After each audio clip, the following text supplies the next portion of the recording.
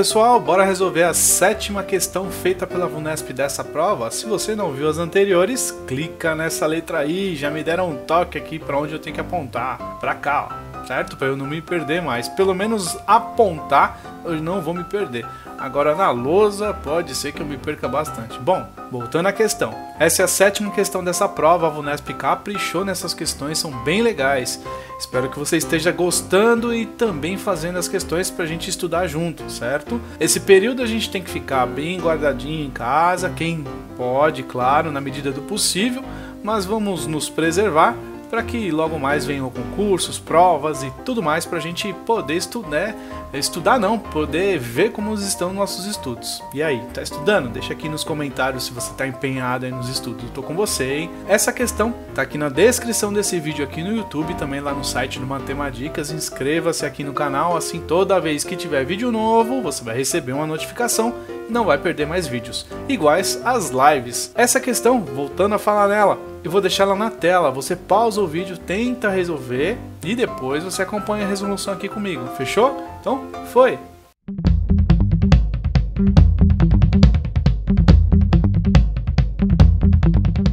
E aí, conseguiu resolver essa questão? Muito boa, né?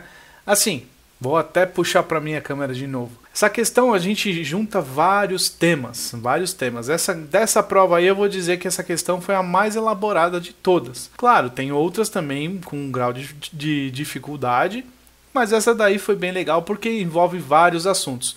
Toda questão que envolve vários assuntos, ela fica difícil. E essa daí não foi diferente. Então já vamos ler o enunciado para a gente resolver. Uma caixa d'água tem capacidade total de 8 mil litros. Quando estava totalmente cheia, ela passou a fornecer água para outra caixa. Há uma vazão constante de 60 litros por minuto e, ao mesmo tempo, a receber água há uma vazão constante de 30 litros por minuto até ficar com 50% da sua capacidade total, momento em que automaticamente parou de receber e de fornecer água. Durante esse processo, o tempo total decorrido foi de 2 horas e. Então aí vem a pergunta do problema. Vamos grifar essa pergunta do problema, vamos deixar bem evidente do que, que a gente quer. Ele quer o tempo total decorrido, certo? Então, o tempo total decorrido. Bom, a gente tem vários dados nessa questão, então vamos já separar os dados. Eu vou fazer isso aqui ó, na questão para a gente ter bastante espaço de trabalho, para depois a gente fazer as continhas, tá? Aqui em cima eu vou fazer o esquema, porque a gente tem que, primeiro de tudo, entender o enunciado, para depois a gente começar a fazer conta. Se a gente fizer isso tudo bagunçado, a gente vai se perder, tá bom? Então vamos lá. Uma caixa d'água tem capacidade total de 8 mil litros. Já vamos escrever isso, vamos desenhar essa caixa d'água. Então tem essa caixa d'água, o volume total, 8 mil litros. Quando estava totalmente cheia, então estava cheia de água essa caixa d'água. Então estava aqui até a boca dela, tem a tampinha, mas estava até aqui em cima. Ela passou a fornecer água para outra caixa d'água a uma vazão constante de 60 litros por minuto. Então o que aconteceu? Eles acoplaram uma outra caixa d'água aqui embaixo, igual Igual não, né? Uma outra caixa d'água, vamos ligar uma torneira aqui e essa torneira vai fornecer 60 litros por minuto. Continuando. E ao mesmo tempo a receber água a uma vazão constante de 30 litros por minuto. Então, a, em vez de não teve só essa torneira instalada, teve essa daqui também instalada, que a vazão daqui de cima de 30 litros por minuto também.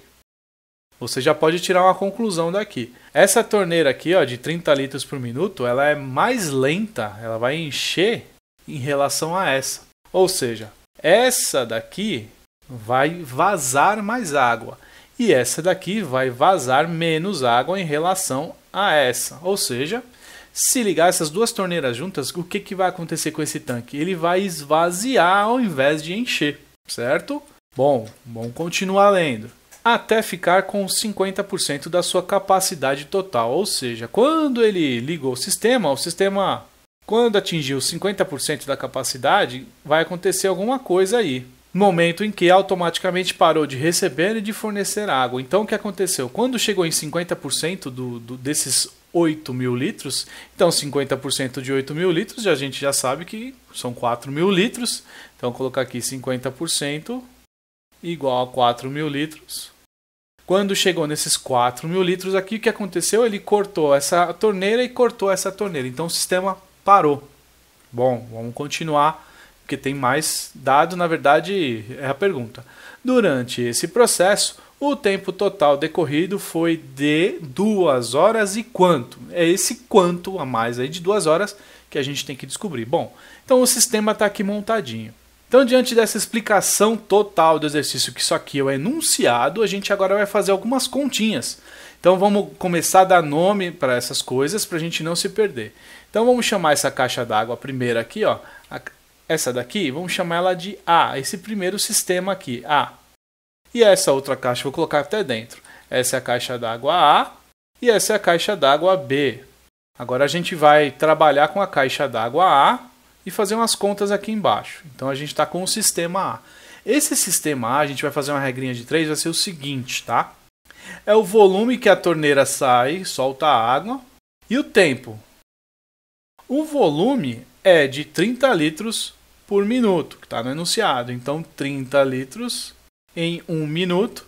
A gente quer descobrir em quanto tempo, vou colocar aqui, da torneira A, quanto tempo essa torneira A vai demorar para encher 4 mil litros. É isso aqui. Então, voltando aqui o raciocínio, a gente tem um volume que é da torneira de 30 litros por minuto, então 30 litros em um minuto. Então a gente quer descobrir quanto tempo, tá? O TA aqui, né? O tempo da torneira A vai encher um volume de 4 mil litros. Eu estou indo bem devagar para você não se perder. Vou passar um traço aqui, porque a gente vai fazer as continhas nessa regra de 3, mas a gente vai pensar no sistema B também. É só para você entender o que a gente vai fazer. Então tem o sistema B, mesma coisa, temos um volume, temos também um tempo. Esse volume agora é da torneira B. A torneira B ela fornece 60 litros por minuto, então 60 litros em um minuto. E o volume que a gente quer atingir são 4 mil litros em quanto? Tempo de B, minutos. Beleza? Então, aqui esse tempo de A e tempo de B, respectivamente, aqui, eles vão sair em minutos. Então, vamos já fazer essa regrinha de 3 aqui. Para fazer essa regra de 3, a gente tem que comparar. Então, vamos comparar aqui. Ó, essa daqui é a nossa referência, que a gente está aqui trabalhando com ela. Então, ó, se eu aumentar o tempo, quanto mais tempo eu tiver, maior é o volume de água que vai entrar na caixa d'água, né?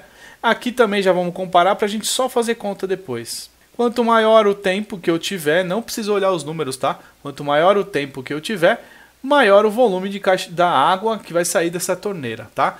Então, se você pode ser, eu vou até puxar aqui para mim, pode ser que você esteja perdido nessa hora de regra de 3 para comparar as unidades, que a gente precisa saber se as grandezas são diretamente ou inversamente proporcionais. Tem um curso de matemática que é bem legal, que pode te ajudar bastante com muita dúvida. Só clicar nessa letra I aqui e você já vai cair no curso, mas antes acompanhe aqui comigo para ver se você tem alguma outra dúvida, porque tem bastante assunto nesse, nessa questão, beleza? Então bora lá.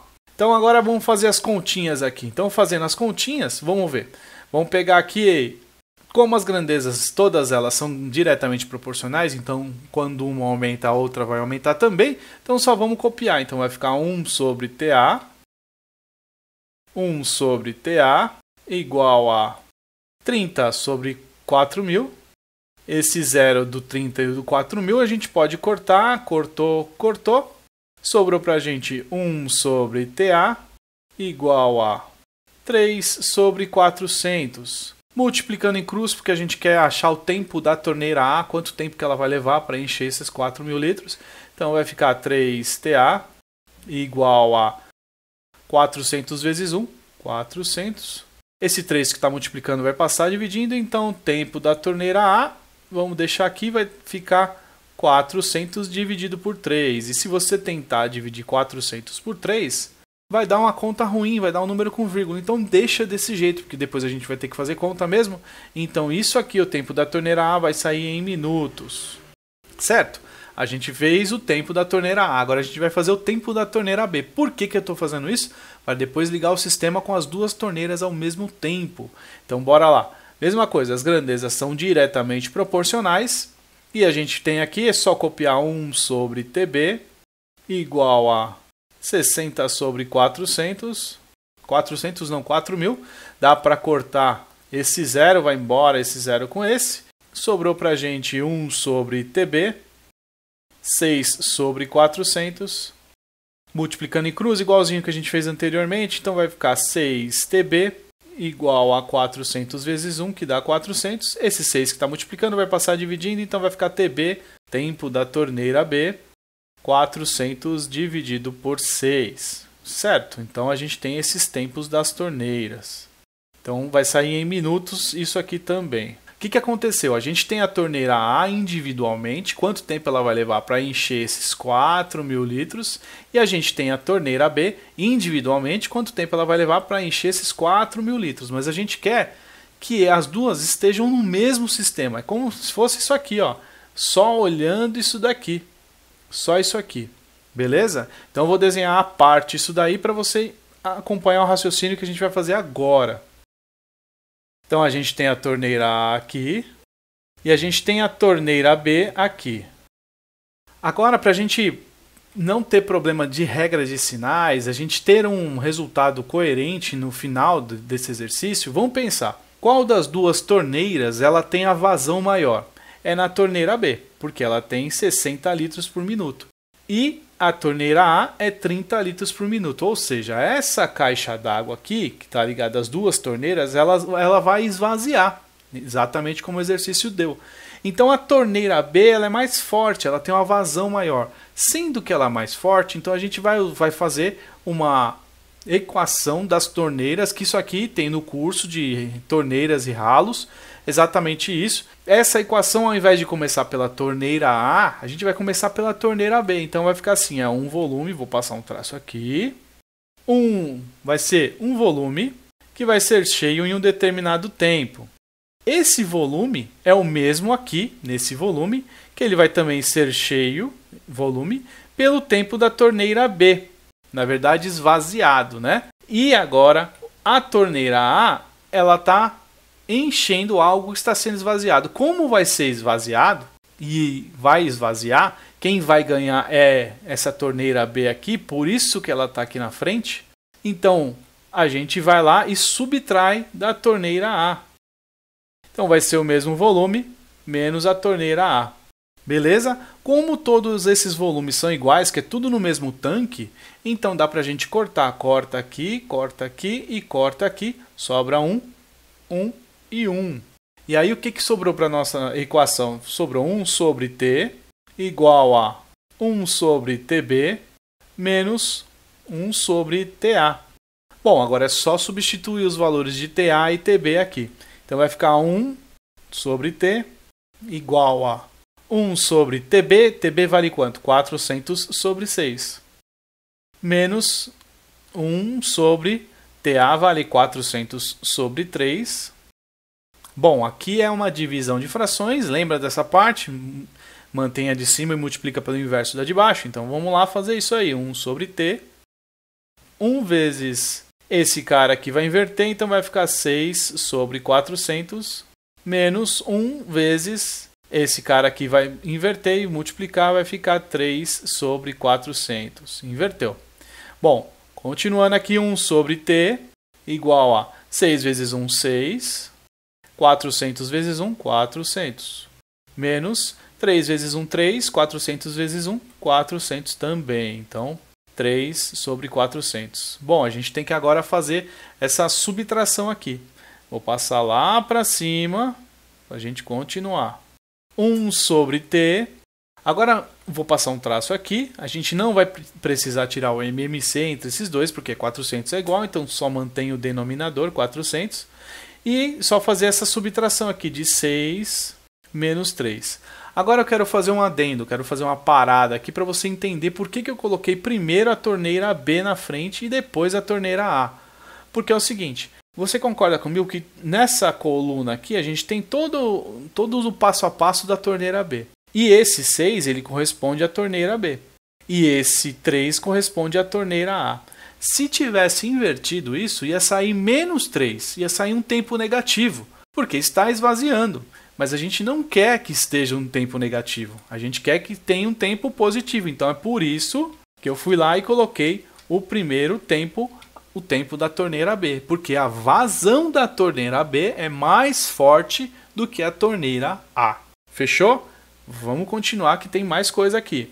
Então é só fazer essa conta. 1, 1 sobre t igual a 6 menos 3 vai dar 3 sobre 400. Multiplica cruzado vai dar 3t igual a 400 vezes 1, 400. Esse 3 que está multiplicando vai passar dividindo, então 400 dividido por 3. E se você fizer essa continha, você vai encontrar 133,33 minutos. Mas aí o que, vai, que, que vai acontecer? Se você transformar isso em horas, para a gente achar finalmente o gabarito da questão, vão ficar 2 horas e quanto? 2 horas que 2 horas são 120 minutos. Então 2 horas, 13 minutos. E quantos segundos? Dá uma olhada na alternativa A e alternativa B, ó. 20 e 35. Vamos ver exatamente quantos minutos e quantos segundos, tudo direitinho, tá? Vou passar um traço aqui porque agora a gente mudou de matéria de novo. Você percebeu aqui que, que teve regra de 3, depois torneiras e ralos e agora vai ser conversão de unidades de, de tempo. Tem tudo isso lá no curso. Então vamos lá fazer essa conversão aí. Então a gente quer, ó, você concorda comigo que quando a gente fizer essa divisão aqui, vai sair em minutos? Então vai ficar 400 dividido por 3, o resultado vai sair em minuto. Então vai dar 4, vai dar 1, 1 vezes 3, 3, para 4 sobra 1, baixa o 0, pega o 10. 10 dividido por 3 vai dar 3, 3 vezes 3, 9, para 10 sobra 1, baixa o outro 0, pega o 10. 10 dividido por 3 dá 3 de novo, 3 vezes 3 dá 1, dá 9, sobra 1. Estou me adiantando aqui.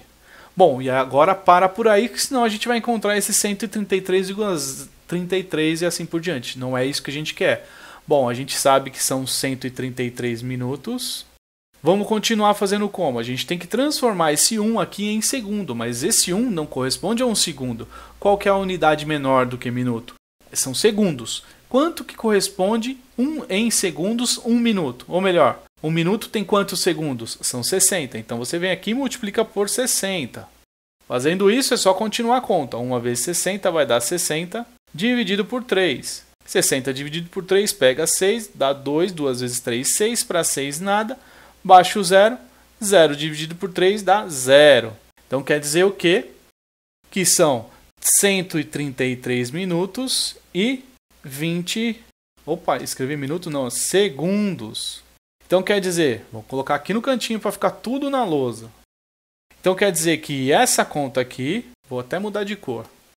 Esse 133 aqui ele corresponde a 2 horas, 13 minutos e 20 segundos.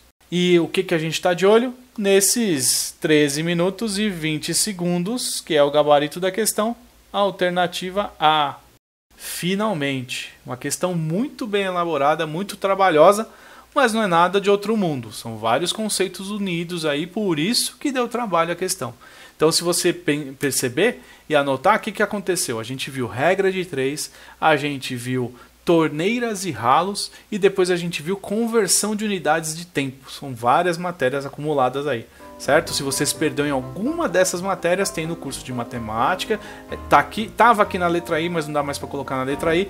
Tá um link aqui no, na descrição desse vídeo que você encontra o curso que pode te ajudar bastante. Agora, se você se perdeu em algum lugar, volta o vídeo, vai anotando devagarzinho que eu tenho certeza que você vai entender. Muito obrigado por assistir essa questão até aqui, dá aquele joinha, porque valeu, hein? Deu um trabalhão lascado, mas pelo menos agora você já sabe como resolve as coisas. E bora para a próxima questão. Muito obrigado e tchau!